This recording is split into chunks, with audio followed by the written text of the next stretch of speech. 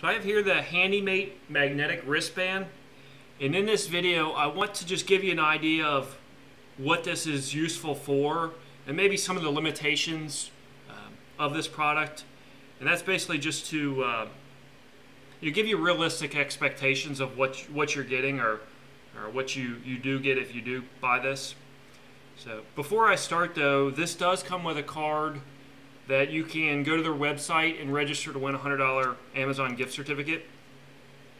So that's worth noting anyway. In this is 18 magnets and there's two magnets, you know, all the way across rather than one long magnet. And that gives a little bit of uh, flexibility to this. And the outside is woven with uh, a nylon Actually, the whole product is nylon, but it's an extra um, coating of nylon just for strength or additional strength. So I'll put this on and I wear this on my right wrist and the reason for that is I can grab with my left hand a nail or screw, the hand that I'd be holding that with, and that's just easier for me being right-handed, but it's your choice, of course. So first I want to start with some of the limitations. I know there's some pictures on there that it holds screwdrivers and uh, scissors and things of that nature, and it does. But I don't think you're going to be wanting to walk around with this. I mean, it, I guess you could, but uh, you know, if, if, you twist your wrist, it might fall. It, you don't want to step on it or anything like that, but it, it will hold it. A small screwdriver is fine.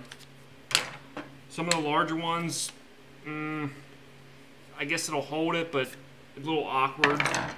So, you know, it's, it's not wrong in, in saying that it'll hold it, but it's not ideal for this wristband.